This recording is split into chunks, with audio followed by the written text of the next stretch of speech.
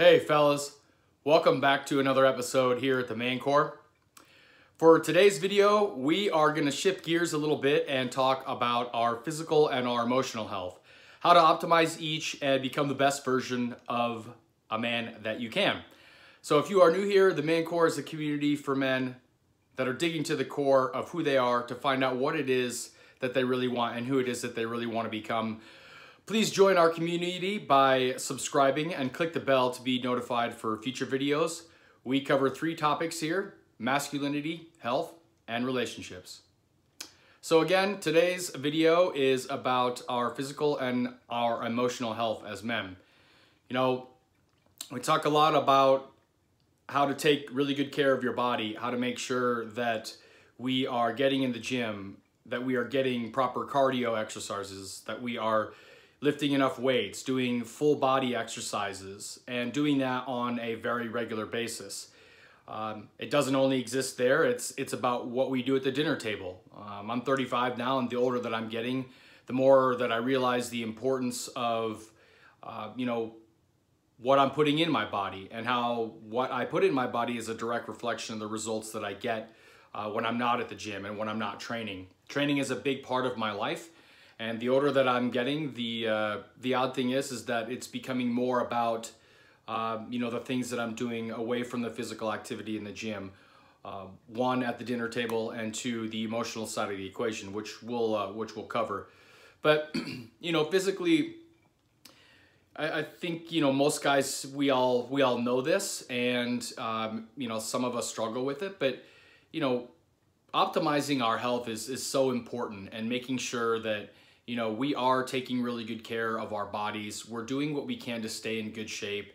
It's important that we not forget that, you know, we are providers, we are protectors, and we only have one body, the one that we're given. So, you know, paying attention to the things that we're doing to, you know, keep up our nutrition levels and keep up our strength levels, keep up our, you know, endurance and our conditioning. These these are all things that you know, I think most guys know, um, you know, getting into the gym each or every other day is so crucial.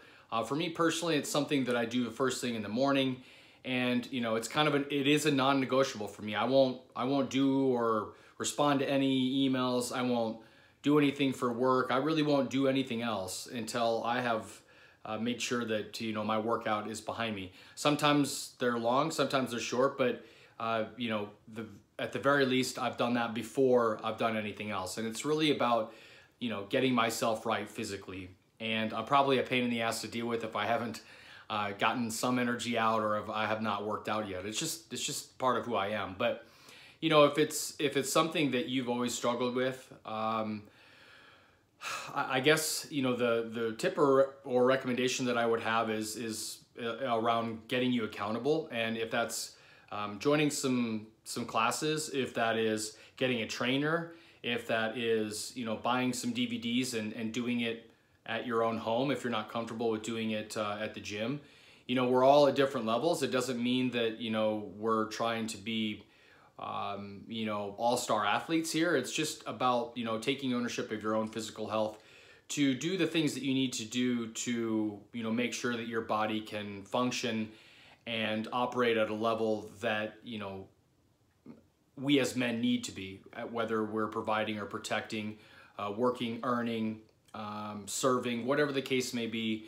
You know, it's hard enough just to, uh, to just to get by uh, as it is, but um, you know, we, if we're not taking care of ourselves, uh, we're really of help to nobody else. It, it's really that old adage of, you know, make sure that you're giving yourself oxygen first before you can help another.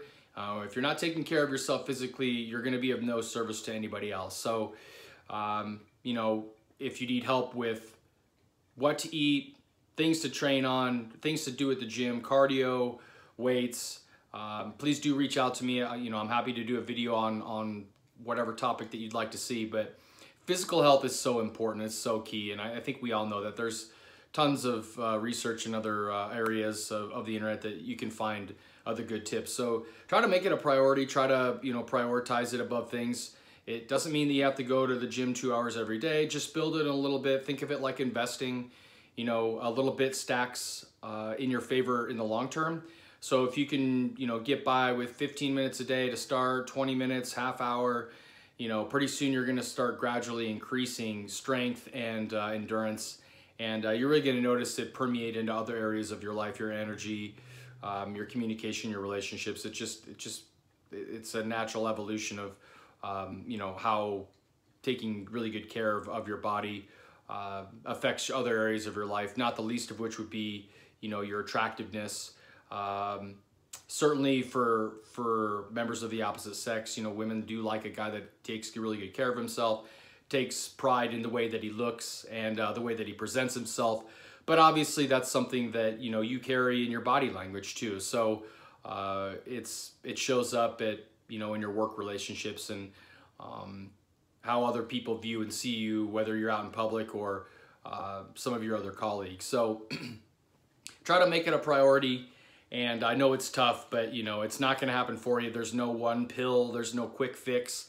There's not a buy it on the shelf. This is just good old fashioned uh, elbow grease, and um, you know it's just finding the motivation to to do it. So um, that's the physical side of things. And again, you know, as as I've gotten older, like I mentioned before, you know, I've really noticed that it's it's really become about a comprehensive and about being a more balanced man. So, you know, I can go to the gym and, and work my ass off, but if I'm not eating the things that I need to be and, and training at home, uh, you know, I'm not going to see the results. And the older that you get, you just can't get away with this much anymore. So, you know, eating a, a, a well-balanced diet. I've covered videos about the alkaline diet and, you know, green leafy vegetables, whole grains, uh, you know, plenty of fruits and vegetables. You know, it's not anything new. We all know that eating a good, healthy, balanced diet and, you know, reducing things like pop and fast food and sugar and, and excess salts,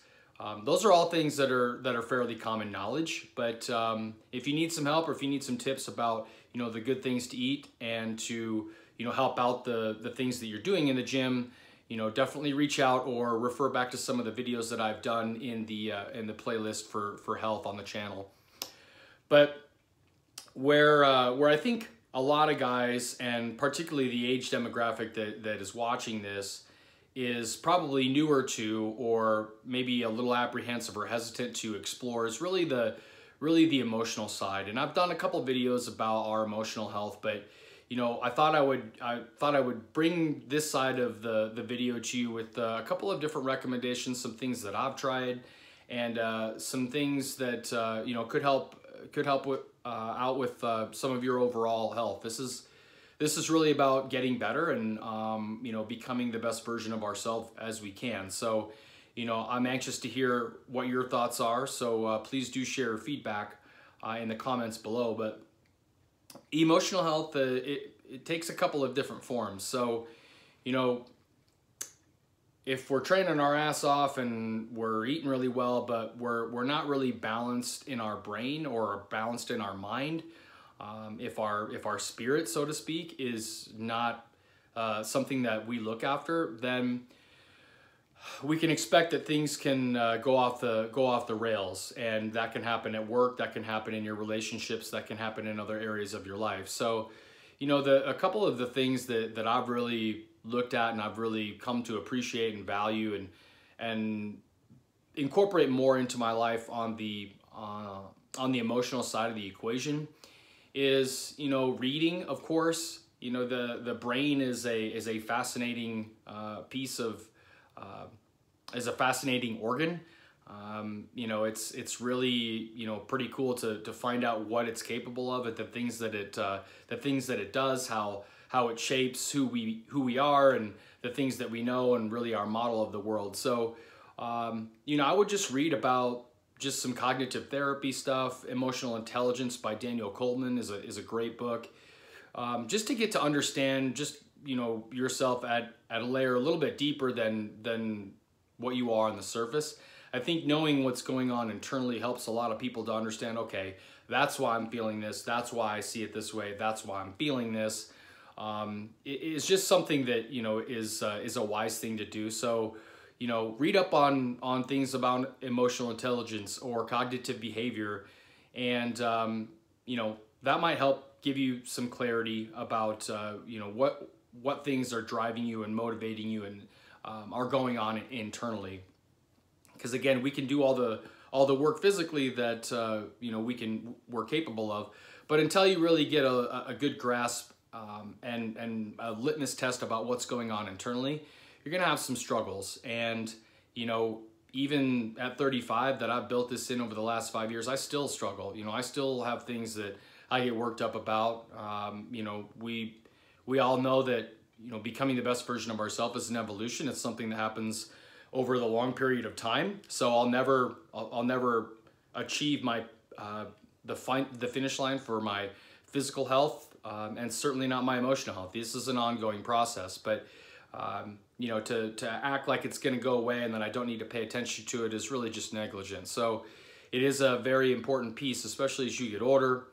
And you know, a balanced, emotional, centered, and um, calm man is uh, is really is really important when you're dealing with uh, you know either communications or people at work or people who you have to deal with who are very different than you are uh, personality type uh, with women you know they are emotional creatures. So if you have two emotional people going back and forth that um, are kind of you know i think women get women definitely get a pass on this but if you're a man in your emotional basket case and it doesn't take much but you know a slight comment to throw you off you're going to run into some problems.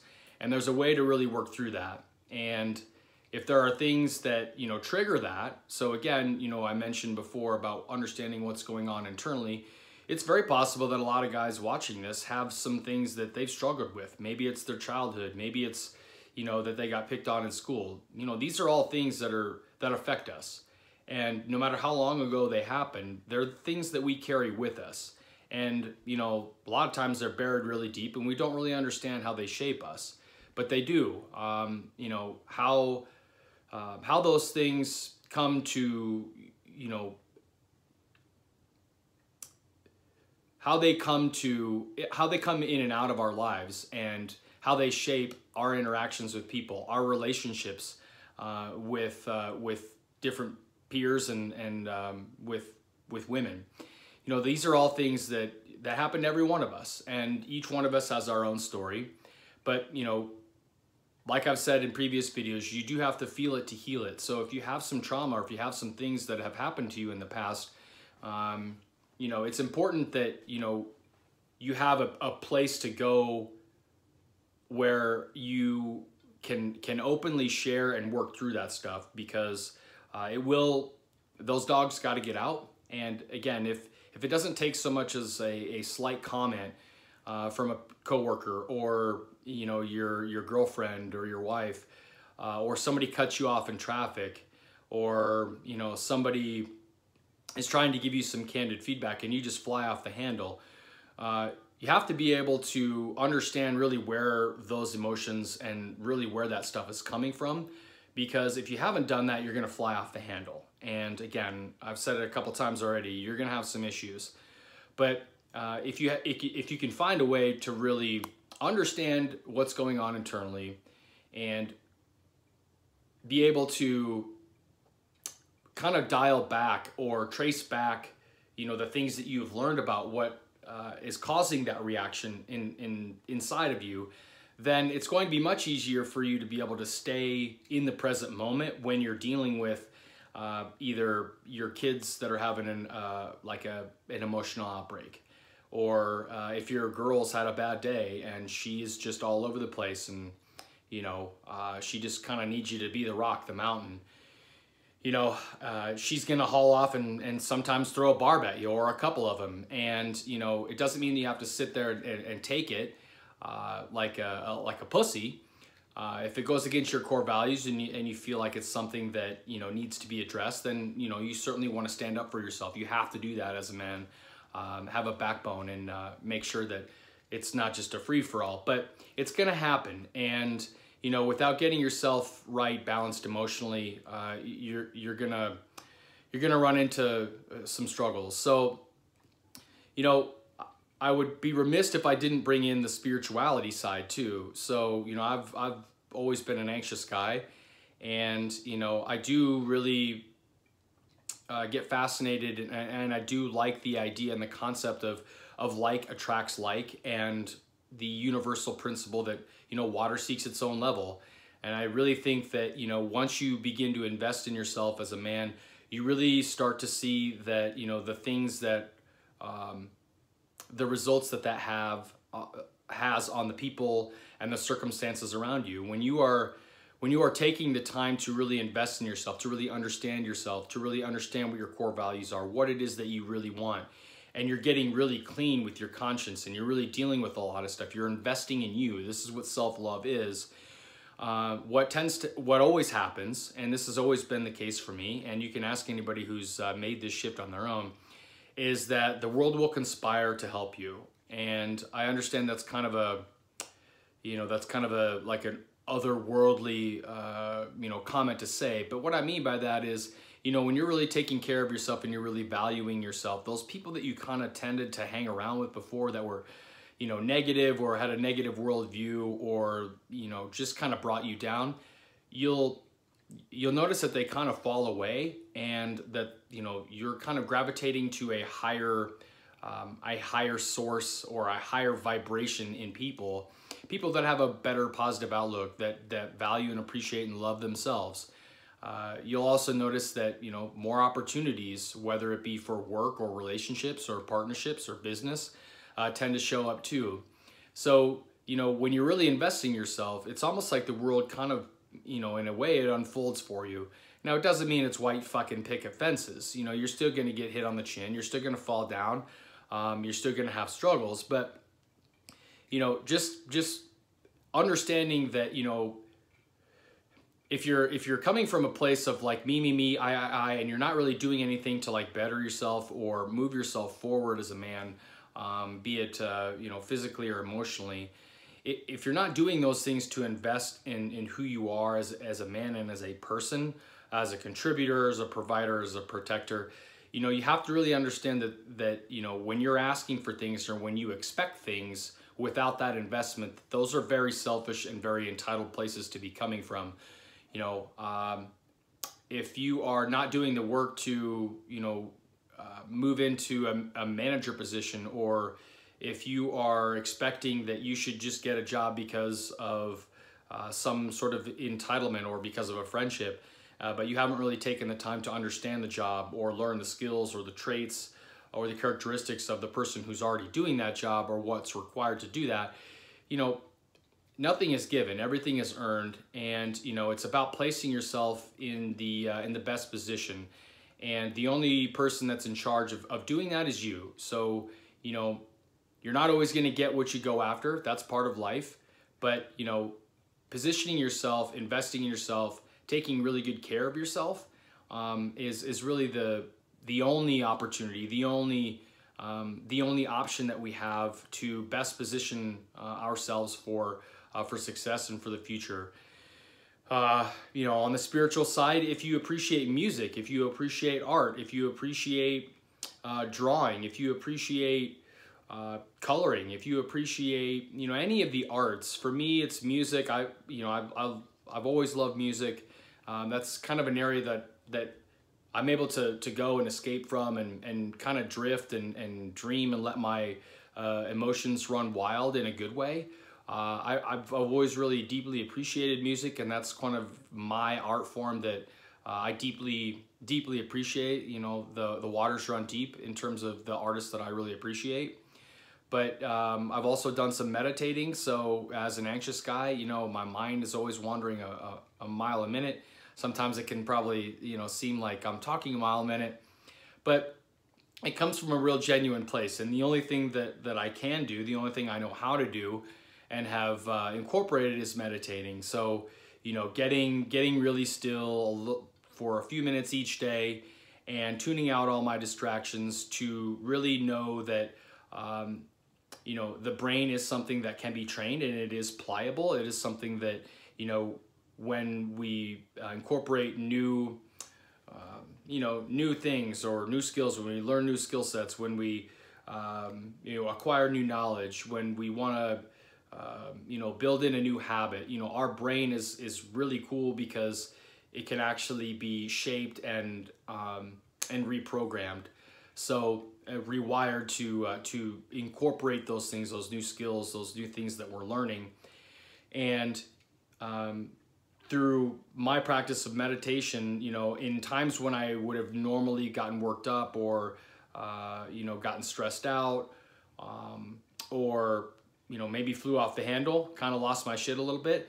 Now I'm I'm rewiring my brain to uh, to take a step back and to really you know stop and uh, understand that you know this is what's happening now but it's it's not going to hurt me it's just being able to stay calm in that present moment and when you're when you're doing those things from a spiritual side or certainly from a med uh, meditation standpoint it will just train your your your, bo- your body and your mind to uh, to kind of understand that what's going on around you and, and to just kind of stop and, you know, check inside, to, to check what's going on internally. That's why it's so important to, to understand what's going on inside. So, um, you know, it would just help out with a lot of those things when normally you would have gotten worked up or uh, flew off the handle. You know, meditation certainly for me has uh, has really helped me kind of guide uh, through some uh, treacherous waters when um, things have gotten stressful or uh, somebody you know hauled off and made a shitty comment or you know lost their temper or whatever. Uh, a lot of times it had nothing to do with me it had everything to do with the other person. So i never have control over the things that other people do and say but i do have full control over uh, how i react. And um, the the meanings that i give uh, those comments or, or uh, those reactions from other people. And um, you know by investing in myself i understand myself more deeply and i understand that you know those comments and those reactions have little to do with me and more to do with that other person. The only reason i know that is because i i better understand myself because i've taken the time to take care of myself physically and and emotionally. And um, i'm always going to be working towards being a balanced man um, that uh, that's a process that is ongoing that will that will never end um, it has highs and lows. It's not perfect. There's no perfect recipe. It's different for everybody. But it is the uh, it is the only recipe that, that we have and the only thing that we do have full control over. So I hope that has helped you today. Uh, I have so enjoyed bringing uh, some content to you guys in the last few weeks. The comments that are coming in have been amazing. So thank you so very much for uh, continue to engage with the video and share your journey. I It deeply means a lot to me that you guys are benefiting from the channel and uh, are, are finding a way to circle back to the community to find help, find support, find tips and uh, ways to become a better man. Uh, please do like the video, share the video, and um, invite anybody that you think would be a good contributor here at the Manchor. We are building community for better men, but um, again, I really appreciate all the all the time and uh, all the engagement on the video, fellas. Thank you so much. I will catch you soon on the next video. Until then, cheers.